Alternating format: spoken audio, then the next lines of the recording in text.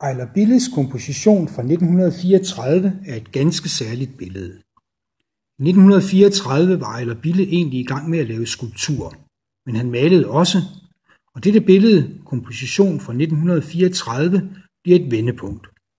Både for Ejler Bille selv og for dansk billedkunst. Det er nemlig her, han for første gang udforsker det, vi kalder automattegning. Vi kender det alle sammen, vi sidder og taler i telefon og har en blok papir ved siden af, og lige pludselig er papiret fyldt med kruseduller, uden at vi har tænkt over det. Billedet er begyndt som en automattegning.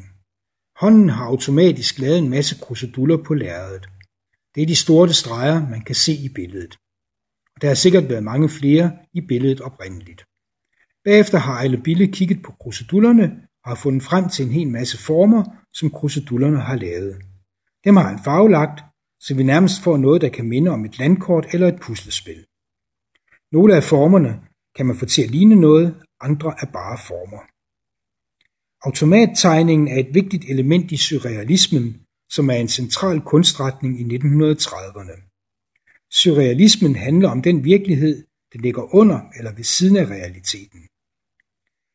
Kunstnerne havde læst den østrigske psykoanalytiker Sigmund Freud. Han introducerer begrebet det ubevidste.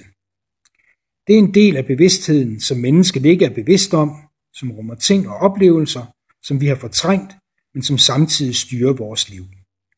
Det ubevidste trænger sig på, når bevidstheden, eller det som Freud kalder overjeget, slækker på kontrollen, for eksempel i drømme, når vi sover. Det er også det, der sker, når vi laver kruseduller. Vi styrer det ikke bevidst. Stregerne, billedet, skaber mere eller mindre sig selv, eller skabes af vores ubevidste. Og det synes Ejler Bille var meget spændende. Billedet får en stor betydning for alle de kunstnere, der siden skulle danne det, der kom til at hedde Cobra. Dette billede er første gang en kunstner i Danmark arbejder med det automatiske, det umiddelbare.